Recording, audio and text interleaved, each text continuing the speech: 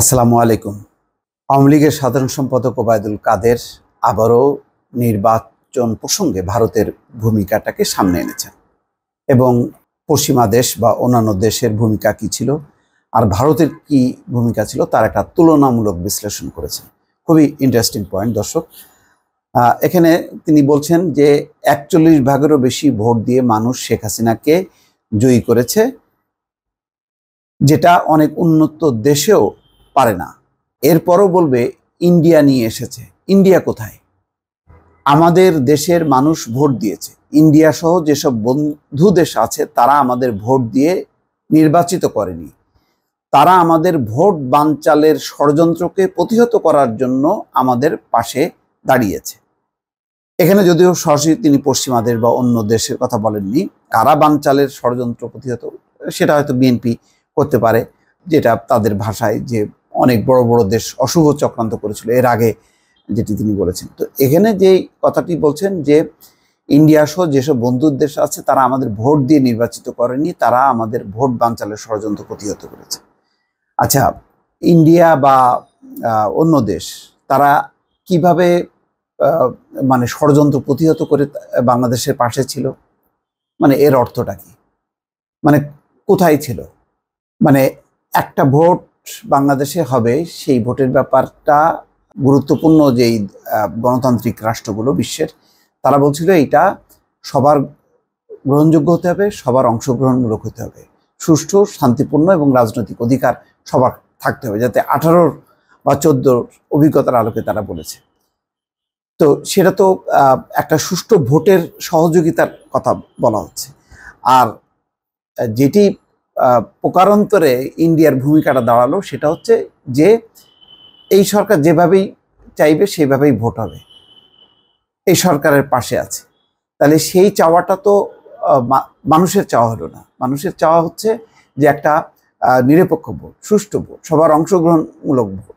সেই নির্বাচন, যে নির্বাচনটা হয়ে গেল, এই নির্বাচনের পক্ষে যদি ভারতকে তিনি মিন করছেন তো ভারত সহ অন্য বন্ধু রাষ্ট্র, অন্য বন্ধু রাষ্ট্র কে ছিল? চীন ছিল, রাশিয়া ছিল। তো বাংলাদেশের এইরকম একটা পচা নির্বাচনের জন্য, এইরকম দেশগুলোর পাশে থাকা, এটা তো একটা মানে এটাও তো বলা যায় এক ধরনের ষড়যন্ত্রমূলকভাবে মানে যারা ক্ষমতায় আছে তারাই যাতে থাকে আজীবন, তারই একটা মানে একটা নীল নকশা বলা যেতে পারে। তো এটা তো কোনো ভালো উদ্দেশ্য হলো না। সুতরাং যারা চেয়েছে একটা ভালো ভোট হোক বাংলাদেশে যে সুষ্ঠু ভোট হোক সবার অংশগ্রহণের ভোট হোক এই চাওয়াটা কি কোনো অন্যায়? এই চাওয়াটা কি ষড়যন্ত্র? এই চাওয়াটা কি চক্রান্ত? মানে আহ, কাদের কি বুঝাতে চাচ্ছেন আমি এটা ঠিক বুঝতে পারছি না। কিন্তু তার বক্তব্যে দেখেন বলছেন যে মানুষ ভোট দিয়েছে। আবার বলছেন যে একচল্লিশ ভাগের বেশি ভোট। একচল্লিশ ভাগের বেশি ভোটটা মানুষ দিয়েছে কি দেয়নি সেটা মানুষই খুব ভালো জানে। এই পরিসংখ্যানে মানুষ বিশ্বাস করে না। মানুষ দেখেছে যে অধিকাংশ জায়গায় হচ্ছে ভোটবিহীন হয়েছে। কোনো কোনো জায়গায় ভোট হয়েছে, সেটা হলো একদম নিজেদের মধ্যে। সেখানে ওই বৃত্তের বাইরে, আওয়ামী লীগ, আওয়ামী লীগের লড়াইয়ের বাইরে যে বিপুল সংখ্যক ভোটার, তারা ভোট দিতে আসেনি, কেননা তাদের কোনো পছন্দের কোনো প্রার্থী ছিল না। সুতরাং এইটা নিয়ে এই পরিসংখ্যান দিয়ে প্রমাণ হয় না যে মানুষ ভোট দিয়েছে আর মানুষ ভোট দিয়ে এই সরকারকে নির্বাচিত করেছে। আর ইন্ডিয়া তো ভোট তো তারা দেবে না, কিন্তু ভোট না দিলেও ভোট দিয়ে তো তারা দেওয়ার তো সেই কোনো সিস্টেম নেই। কিন্তু তারা যে পাশে দাঁড়াল, যেইভাবে পাশে দাঁড়াল, সেই দাঁড়ানোটা কি হলো? একটা সুষ্ঠু নির্বাচনের পথটা রুদ্ধ হয়ে গেল। একটা মুক্ত নির্বাচন, অবাধ নির্বাচন, সবার অংশগ্রহণের প্রতিযোগিতামূলক নির্বাচন, সেটা আর হলো না। তো সেইটার জন্য আওয়ামী লীগ কৃতজ্ঞ থাকতে পারে, কিন্তু সাধারণ মানুষ যারা সত্যিকার অর্থে একটা গণতান্ত্রিক বিধি ব্যবস্থা চায় বাংলাদেশে এবং একটা জীবন্ত পার্লামেন্ট, একটা কার্যকর পার্লামেন্ট যেটাকে বলা হয় সেই রকম পার্লামেন্টের জন্য তারা অবশ্যই চাইবে যে একটা মুক্ত অবাধ নিরপেক্ষ নির্বাচন। কিন্তু ভারত যেভাবে, ভারত সহ তার সহযোগীরা যদি হয়, চীন বা রাশিয়া, তারা যেভাবে সাপোর্টটা করল, সেই সাপোর্টের ফলে কি হলো? একটা একতরফা নির্বাচনটা সম্পন্ন হলো। তো সুতরাং এখানে ওই অর্থেই মানে ইন্ডিয়া ক্ষমতায় নিয়ে আসলো, এটাই বলা হচ্ছে যে এই ইন্ডিয়া পাশে থাকাতেই সরকারের পক্ষে এরকম একটা নির্বাচন সম্ভব হলো। নতুবা পশ্চিমা দেশগুলো যেভাবে তারা নির্বাচন চাইছিল সেইভাবে যদি ভারতও যদি সমর্থনটা থাকতো, তাহলে সরকারের পক্ষে হয়তো এইভাবে নির্বাচনটা করা সম্ভব ছিল না।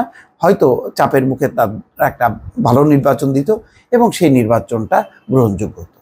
তো সুতরাং এখানে ওই বলছেন যে আমাদের ভোট বানচালের ষড়যন্ত্রকে প্রতিহত করার, ভোট বানচাল হতো না। বরং যেই বানচালের মতনই যে ধরনের ভোট হলো, এটা আসলে মানুষের ভোটই আসলে বানচাল হয়েছে। এটা এটা ভোট হয়নি। এটা হলো এক ধরনের সিলেকশন হয়েছে।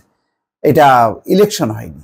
তো সুতরাং ভারত ওই পাশের থেকে আসলেই মানে ভোট বানচালের মতন একটা পরিস্থিতি তৈরি হয়েছে। এটা এই ধরনের জগা খিচুড়ি মার্কা ভোটের মধ্য দিয়ে মানে নির্বাচন করে মানে খুব গর্ব করার কোনো বিষয় না। বরং বাংলাদেশের যতগুলো মানে খারাপ নির্বাচনের তালিকা যদি করা হয়, এই নির্বাচনগুলো তার মধ্যেই থাকবে চোদ্দ, আঠারো এবং চব্বিশ। দর্শক ভালো থাকবেন, আল্লাহ